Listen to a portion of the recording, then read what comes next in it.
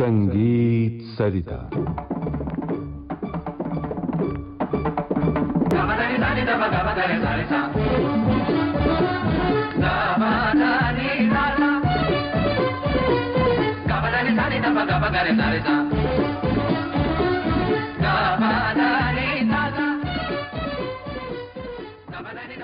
संगीतकार मदन मोहन की रचनाओं में शास्त्रीय संगीत। आमंत्रित कलाकार डॉक्टर अलका देव मारुलकर। वो भूली दासता लो फिर याद आ गई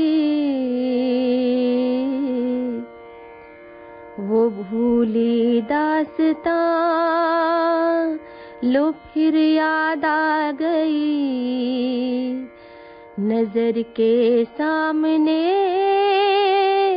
घटा सी छा गई।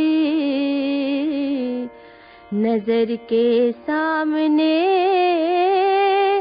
घटा सी छा गई। वो भूली दासता लो फिर याद आ गई। संगीतकार मदन मोहन की रचनाओं में शास्त्रीय संगीत। आज सुनिए इस श्रृंखला की सातवीं कड़ी। संगीत सरिता के श्रोताओं,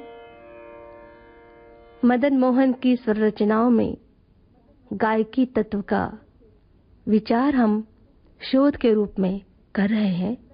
प्रश्न उठता है, गायकी शब्द का क्या अर्थ हो सकता है?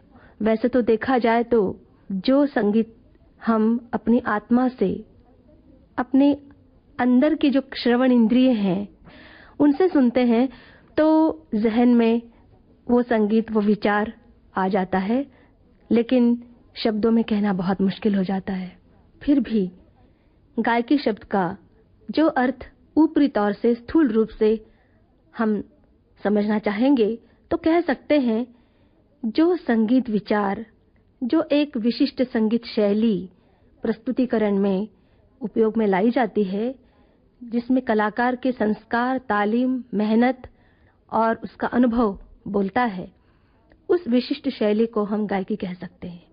मदन मोहन के संदर्भ में इस गायकी के और भी थोड़े थोड़े अलग अर्थ निकलते हैं। मैं तो मानती हूँ, फ़िल्म संगीत जैसा बंधा हुआ संगीत, जो प्रसंगों के अनुसार लिखा जाता है, स्वरबद्ध होता है। जब हम प्रस्तुत करने जाते हैं, जिस तरह की स्वतंत्रता हमें उस गाने में प्रस्तुतिकरण में मिलनी चाहिए, वो बहुत कम संगीतकारों के संगीत में प्राप्त होती है। ऐसा मेरा अनुभव है। हर संगीतकार को पूरी तरह से मैं मानते हुए भी कह सकती हूँ मदन मोहन के अलावा बहुत से संगीतकारों ने जो संगीत बनाया है, वो, जिसको हम इंग्लिश में कट टू कट ऐसा कहते हैं मात्रा टू मात्रा मात्रा से मात्रा तक। ऐसा संगीत बंधा हुआ होता है, लेकिन मदन मोहन के संगीत में बहुत अंदर जो उसको हम लोग बिना कहा गया संगीत प्रस्तुत करने में, आगे लाने में मदद मिलती है। वही अभिप्रेत है गायकी शब्द का अर्थ मुझे। देखिए, संगीतकार मदन मोहन ने अनेक अनेक राग रागिनियों को अपने संगीत में समाहित किया, ये तो हमने देखा। अभी देखेंगे भी और एक गीत है जिसकी शुरुआत बहुत ही आकर्षक रूप से होती है। जौनपुरी के एक खास स्वर वाक्य से शुरू होती है, लेकिन बाद में जाकर काफ़ी और सिंदूरा जैसे धुन रागों से उसकी सजावट की गई है और अलग ही चेहरा बन गया है उस गीत का। फ़िल्म हँसते जख्म की ये बहुत मशहूर गज़ल है। आज सोचा तो आँसू भर आए मुद्दतें हो गई मुस्कुराए। देखिए, इस गीत को जब शुरू किया गया तो जौनपुरी के स्वर वाक्य से शुरू हुआ। फिर बाद में शुद्ध निषाद पर भी नीचे मंद्र सप्तक में आ गए।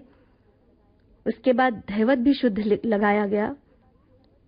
और दोनों धैवतों के इस समायोग से वो गीत इतना खूबसूरत बन गया है और जो भाव संप्रेषित करने की उस गीत में बात है, आज सोचा तो आँसू भर आए, वो जो असहायता है नायिका की, वो बहुत अच्छी तरह से व्यक्त हो गई है।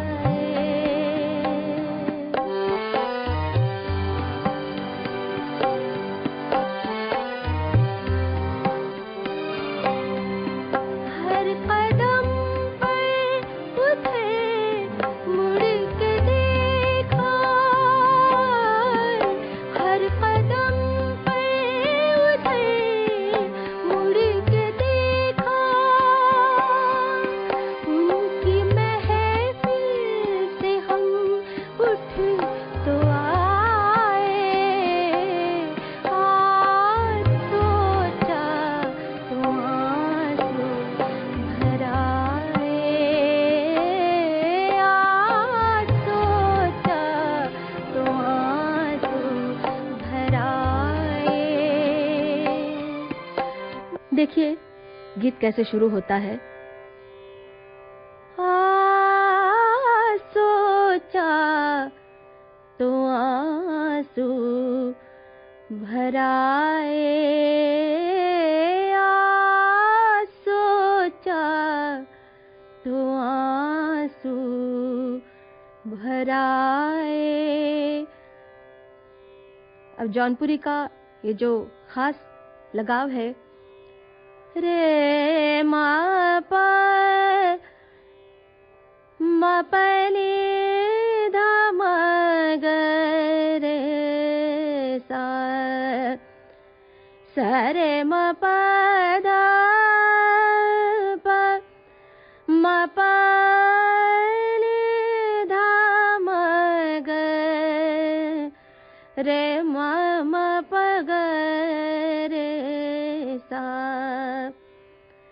अब यहाँ से शुरुआत तो होती है, लेकिन पूरा गीत बाद में दूसरी जगह जा रहा है और जो उस पहली पंक्ति को कहीं भी न बिगाड़ते हुए जा रहा है, देखिए। मुद्दते हो गई मुस्कुराए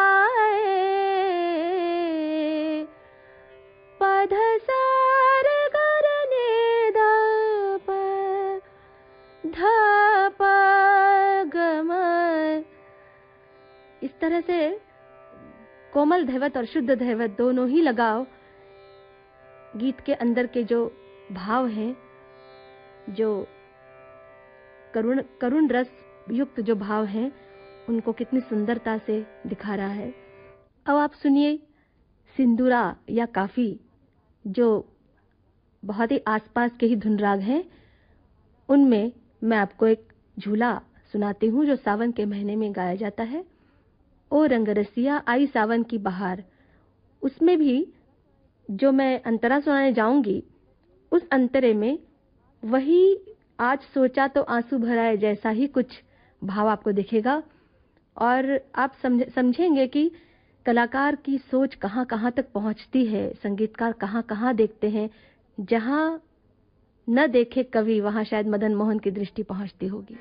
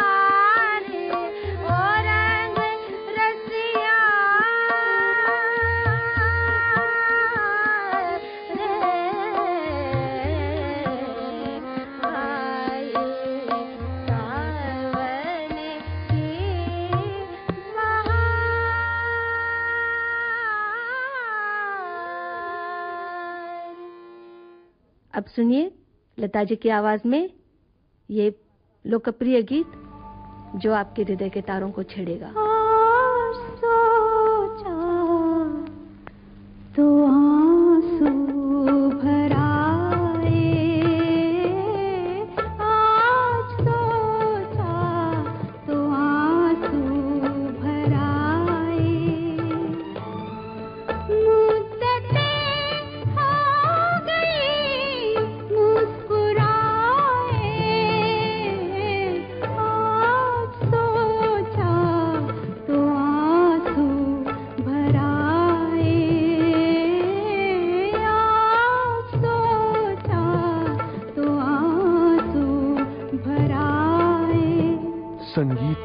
मदन मोहन की रचनाओं में शास्त्रीय संगीत। ये थी इस श्रृंखला की सातवीं कड़ी। आमंत्रित कलाकार डॉक्टर अलका देव मारुलकर।